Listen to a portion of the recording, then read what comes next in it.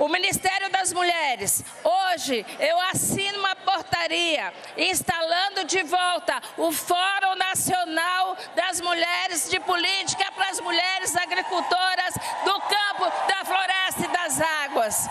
Essa não pode ser uma política só da marcha, mas ela é uma política permanente. Também estou assinando uma portaria garantindo um fórum de discussão para a questão das mulheres pescadoras, marisqueiras e das águas, para que nós possamos fechar uma política nacional para esse setor, juntamente com o ministro da Pesca. Nós estamos fazendo também hoje, e pactuado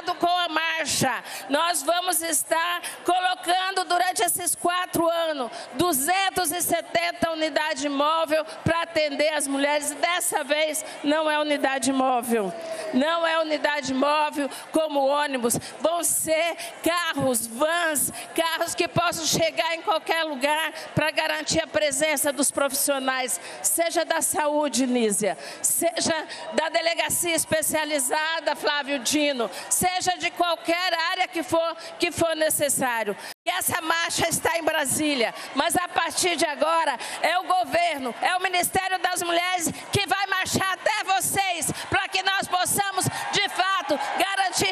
resultado e efetividade às políticas públicas para que as mulheres que durante esses seis anos foram abandonadas, foram estupradas, foram assassinadas.